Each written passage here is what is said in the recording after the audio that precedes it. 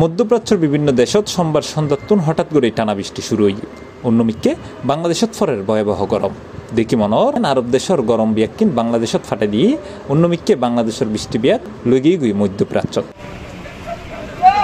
এন্ডি বৃষ্টির হারণে ওমান সংযুক্ত আরব আমিরাত সহ বেশ কিছু দেশত জলবদ্ধতা সহ দেখা দিয়ে বন্যা। ওমানত বন্যার কবলে পরি প্রাণ হারাইয়ে প্রায় আঠারো জন মানুষ। ওমানের বিভিন্ন সংবাদ মাধ্যম সূত্রে জানা গিয়ে মিতলের মধ্যে দশজনই স্কুলগামী শিশু এবং আরেকজন ওই স্কুল বাসের ড্রাইভার। এছাড়াও এই বন্যাত আরও বোধকে নিখোঁজ আছে বলেও জানা গিয়ে।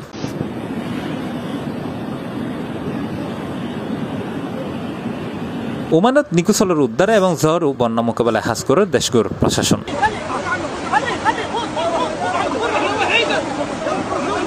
এমিকি সংযুক্ত আরব আমিরাতত ভারী বৃষ্টিপাতে বড় বড় মহাসড়ক সহ বেশ কিছু অংশ প্লাবিত হইয়ে দুবাইয়ের বোধ রাস্তাত যানবাহন পরিত্যক্ত হয়ে ফুরি আছে। বন্যা কবলিত বাসিন্দালরে প্রয়োজন ছাড়া গরতুন বাইরে বেলায় নিষেধ করছে কর্তৃপক্ষ জব দোকান সবগুলা বন্ধ। তো দেখা যাক দোয়া করবেন যাতে আবার স্থিতিশীল হয়, সবকিছু ঠিকঠাক থাকে। প্রবাসীর জন্য এটা অনেক কষ্টের হয় মাঝে মধ্যে। বৃষ্টিত রাস্তাঘাট বাইজনে শহরের বিভিন্ন স্থানত ফান্ডির উদ্দীপ বাসি থাকতে দেখা গিয়ে যানবাহনরে এবং যান চলাচল স্বাভাবিক নতাহনে হামদ জান্নাফারের বাঙালি প্রবাসী তবে ইতিমধ্যে পানি নিষ্কাশনের হাত শুরু করছে দেশগর প্রশাসন। ই নেই তো দুই একদিন থাইব আবার দুবাই গভর্নমেন্টে পানি তারা তুলে ফেলিব।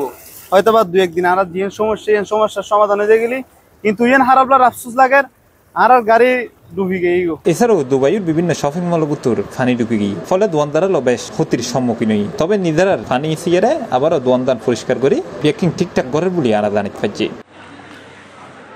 হৈরাকে আরব দেশে বৃষ্টিপাত খুব একটা নোয়া চলে। ফলে নিয়মিত বৃষ্টিপাতর দেশ নোয়ানে বোধ রাস্তাঘাট এবং এলাকাত ফানি নিষ্কাশন কোনো ব্যবস্থা নাই। শহর গিনুর যে অবকাঠামো, তাতে নালাগিনু আছে রাস্তার নিচে। ফলে রাস্তার তুন ফানি সরিয়ে না ফারানোর হারণে সৃষ্টি জলবদ্ধতারও।